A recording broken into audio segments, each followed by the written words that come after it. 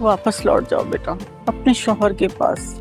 मुतसिम के सर पर सेहरा बांधी है। मैं अपनी बेटी के आने की शाह नवाज़ अहमद खान के साथ बेवल हक महर पचास लाख रुपए जिसका था सबको डर, आखिरकार वही होने जा रहा है। हया और मुर्तसिम की शादी की शूटिंग का आगाज़ हो गया है। आइए जानते हैं कि ड्रामा सीरियल तेरे बिन के आने वाले एपिसोड्स में क्या होने वाला है। क्या अब मीरब अपने बच्चे की खातिर मुर्तसिम के पास जाएँगी या फिर नहीं? लेकिन दूसरी तरफ़ हया और मुर्तसिम की शादी का आगाज़ हो चुका होगा। जब मीरब वहाँ घर जाएँगी तो अचानक से देखेंगी कि मुर्तसिम और हया की शादी का आगाज़ हो चुका है। और मुर्तसिम मीरब को अपने बच्चे के साथ देखकर हैरान हो जाएगा और हया के तो होश ही उड़ जाएँगे। लेकिन हया को अचानक से एहसास होगा और मुर्तसिम को शादी के लिए मना कर देगी और कहेगी कि तुम और मीरब तो एक दूसरे के लिए बने हो। मैं तो यूँ ही तुम्हारे बीच में आ गई, जिसके बाद मीरब और मुर्तसिम एक हो जाएँगे।